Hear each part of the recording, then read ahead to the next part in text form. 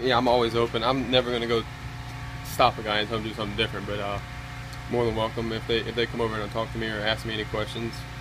Feel free to uh, to answer them the best I can do and try to help them as much as I can. Like, I want to see these guys succeed. It's a blast for me to get to watch them throughout the year and keep up. It's a whole lot funner when they're successful.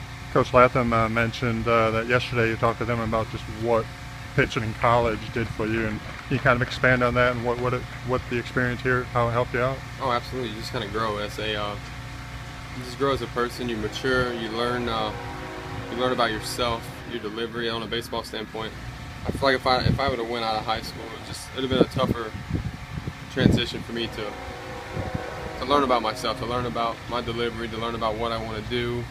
And uh, just I learned a lot here at Southeastern, and, and, and thankful for the opportunity to be able to play here.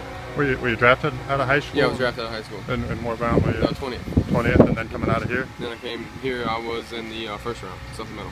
Mm-hmm. And uh, so, of course, that, that paid off for right. you. Right. It paid off in that aspect of it, but uh, it wasn't so much the round or anything why I didn't sign in high school. I just felt like I'd be more benefited if I grew a little bit, came to college, matured. Um, you know, instead of trying to make that big jump from high school to professional ranks, I'd rather I'd rather spend my three years, four years in college.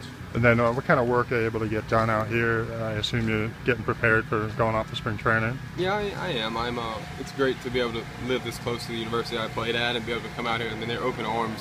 Anything I need, they're more than welcome to help me with. And uh, it's, it's been good working with these guys. And then, how, how will this year be different for you going to a different organization, being with the Red Sox? Uh, I'm not sure yet. Looking forward to it. hopefully, uh, some good changes and just looking forward.